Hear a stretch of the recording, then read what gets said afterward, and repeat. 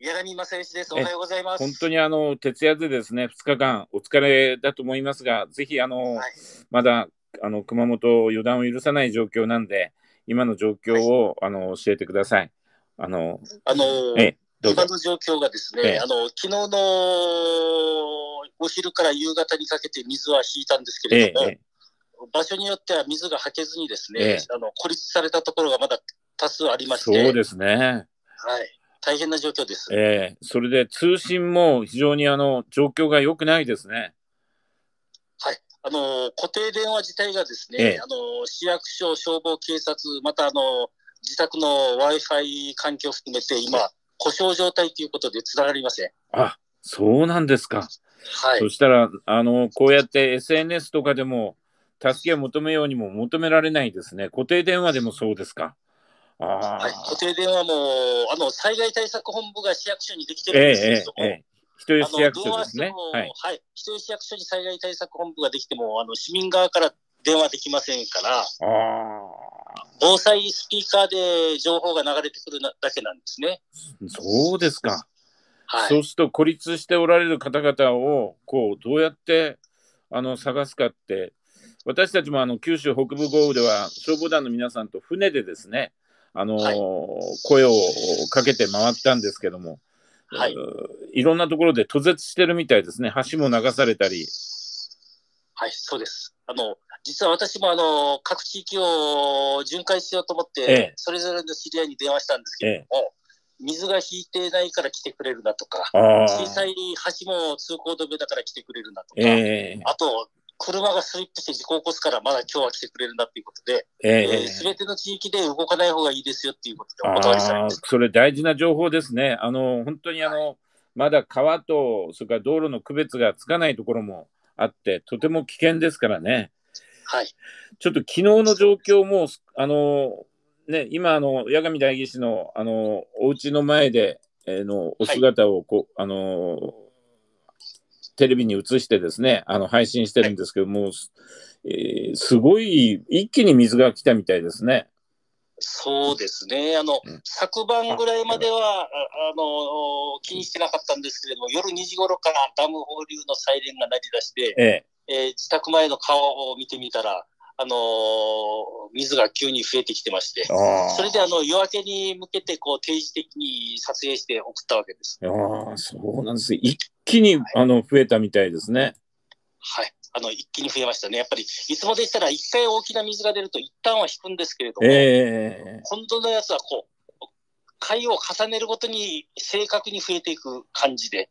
その夕方、あ、ごめんなさい、朝の4時ぐらいから8時までの4時間の間に、もう、水の手橋っていう橋を、こう、上を乗り越えるぐらいまで来た時がピークでしたですね。ああ、そうですか。お家も、あの、今、八神代議士のお姿、あの、映してるんですけども、あの、お家も浸水して、い床上浸水だったみたいですね。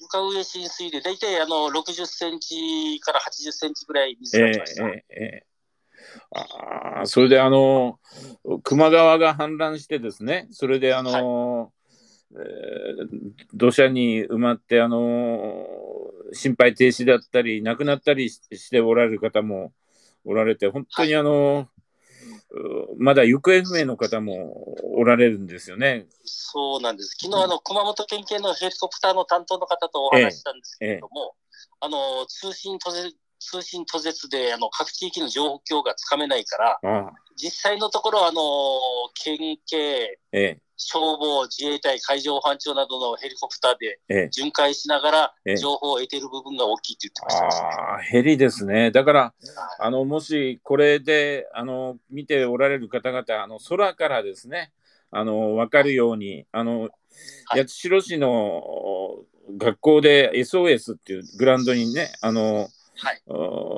書いておられるって、救助を待っておられる方々が、あの、報じられてましたけども、えーはい空を巡回してるということで、空に分かるように、あのーはい空から分かるようにですね、していただければと思います。はい。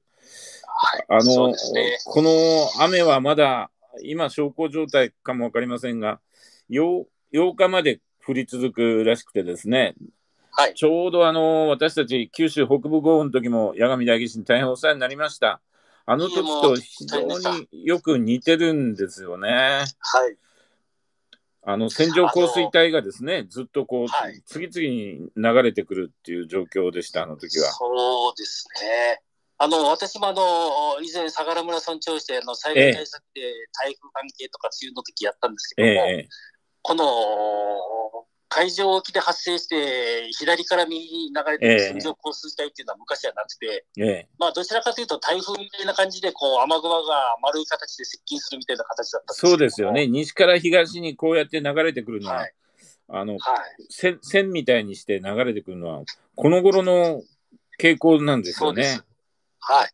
もう、こんなの初めてですね。初めてっていうよりも、九州北部からですね、ええ中国四国豪雨から、ええこう数年の、こう、兆候、大きな兆候だと思いますね。そうですね。あ、そうですね。村長もなさってたから、その辺の災害対策の歴史っていうのをよくご存知ですよね。はい。うん。平成13年から20年までに勤めてましたんで、ええこういう災害の時は、あの、総務課と一緒に徹夜で、ええ。えー寝泊まりして、あの、気象庁とかの米軍の雨雲レーダーとか台風のええ。予想図とか全部見て研究してですね、ええ。やってましたんで、かなり大きな違いが出てます。ですね。で、今回もかなり前からあの予報は出てたんですけど、それでも想像を絶するような8メーターとか9メーターのあの水が襲ったところもあるっていうふうに報じられてるんでですね。はい。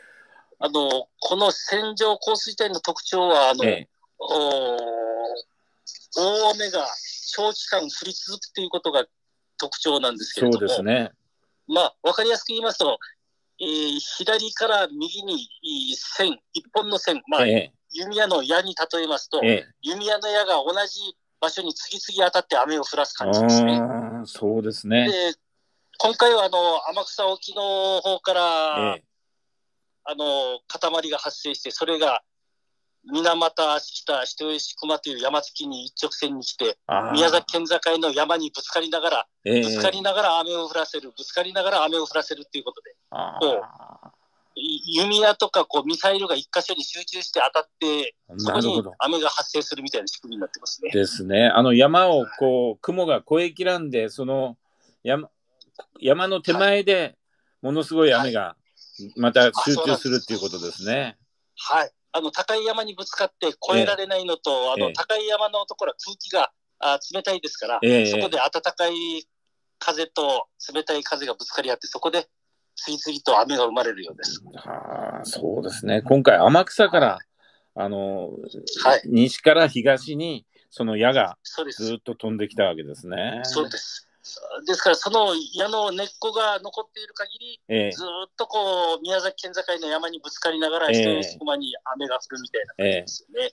ああ今一番、まあ本当にあの通信の途絶とですね、あの、もはい。うまさに緊急で、あの、救助という、そういう、時ですけども、今、あの、全国に向けて一番こう、必要としているもの、ああの、全国、あの、日頃からですね、自治体ごとに、あの、はい救助、救援、お互い助け合うっていう協定がありますですね。今、あの、外からやれることは何でしょうか？そうですね。あの、食料の問題とか衛生上の問題が大きな問題になると思います。ですね、そうですね。はい。あのー今どこからもなかなか入ってこれない状況なんですけれども、えあのー避難所に14箇所、例えば人吉でいうと14箇所の避難所に避難してるんですけーれども、えいずれそこの食料とかあの水も尽きてくると思うんですね。すね。また衛生用品とかも。ーえ。えーただ先ほど災害対策本部の電話もつながあの市役所の電話もつながりませんから、ーえ。ーえー市民からのリアルな状況が入りにくい状況でありますので、国、県、市町村の災害対策本部の連携をこれからどう取るかっていうことも、あの通信、えー障害を考えると必要だと思いーます。そうですね。あの、え衛星電話を各自治体持ってますですよね。で、そ,、はいそれはあの、地上が途絶してもつながりますから、まあでもそれもはいたくさんあるわけじゃないですからね。そうですね。えーあの、衛星電話があっても相手方が固定電話だとつながりまつせん。ながらないですね。そうなんで両方。持ってないとですね。ええそれと、お実はもう一つ問題がありまして、ええ、お原口先生のように他県とか熊本市からの電話はこんなに綺麗に取れるんでええ、すけども、ええ、なぜかあの、この被災地エリア内同士のあ住民とか議員同士で電話すると、ええ。あの、着信はするんですけれども、声が聞こえないんですよ。回線の関係でしょうね。うん、何かシステム的に何か問題があるのかどうかわからないんですけれども。ええ。はい、はい。あの今ですね、固定電話がつながらないときは、ツイッターで画像を貼るとか、その必要なら DM でっていう、あの、はい教えてくれた方がおられて、こうやって外を中継してですね、あの、はいつなげることができるかもわからないですね。私、ちょっと通信会社にもそう、ですね。ええ、あのあ手段、せ先生が今ご指摘受けたされたように、えあの、ホームページの立ち上げがもうダウンしているところは、え、ええ、あの、職員さんが持っている携帯電話を利用してですね、ええ、公式ツイッターを立ち上げてもらうと助かります。そうですね。はい。そうすると、そこにあの、まあ、通信の状況がちょこっと改善したときにでも、貼り付けとけば、あの、そうですねまだですね。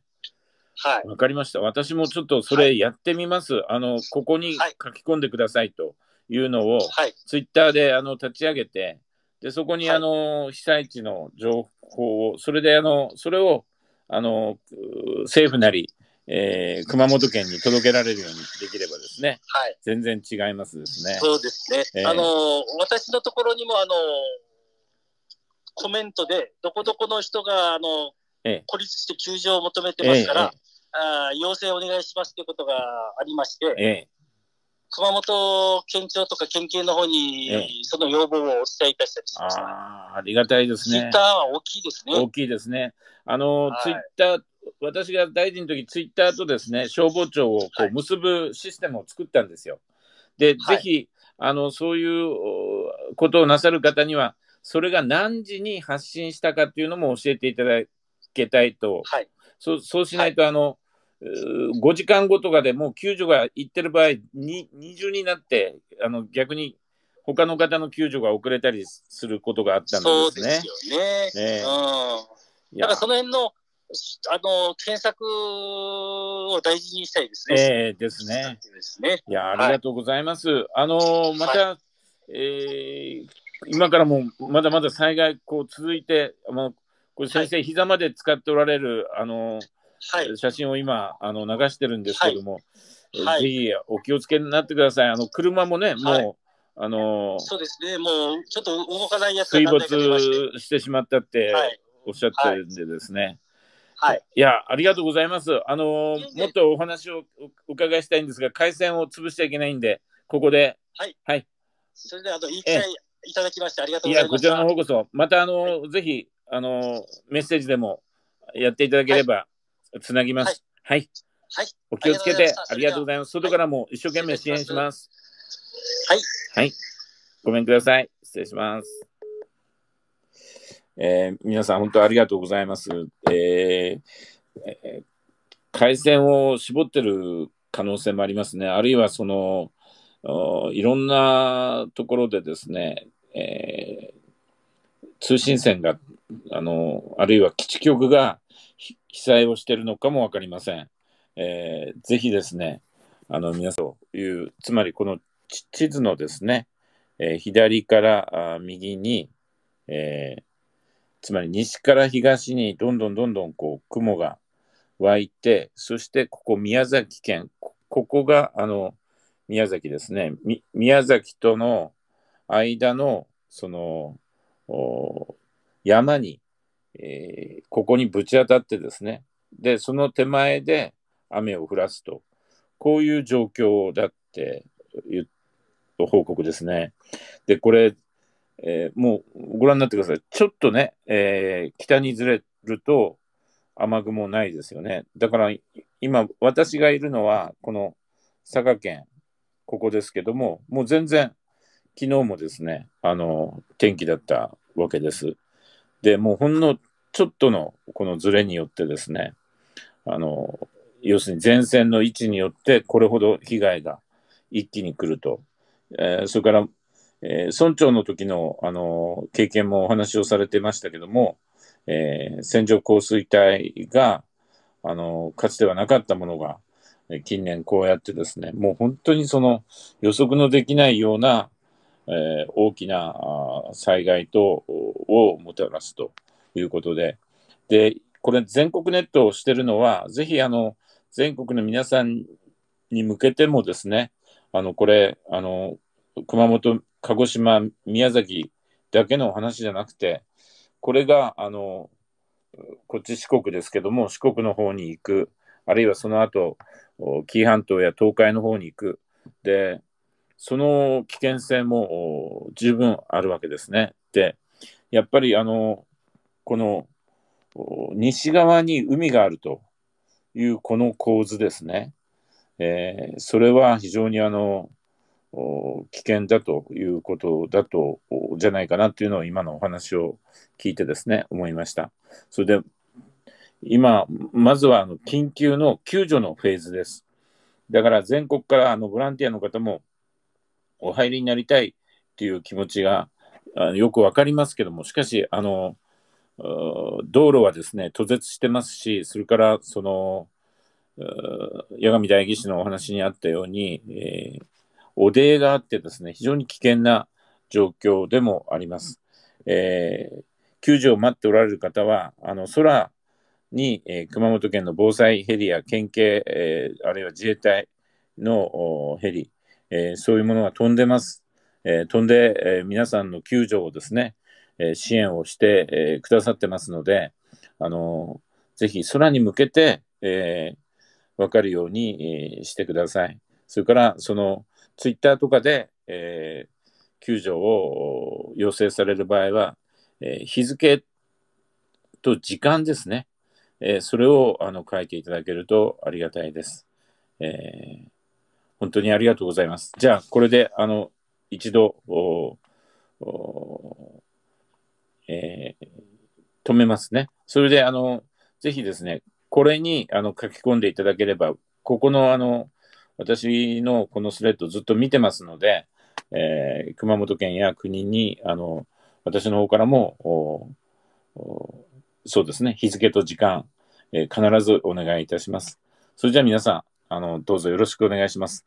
えー、被災地で支援に当たっておられる皆さん、えー、くれぐれもご安全に、あの、2日間でですね、もうかなりあの疲れておられると思います。えーえー、ぜひですね、ああの、えー、救助を待っておられる皆さん、あの、絶対に諦めないで、えー、よろしくお願いいたします。それじゃあ、失礼いたします。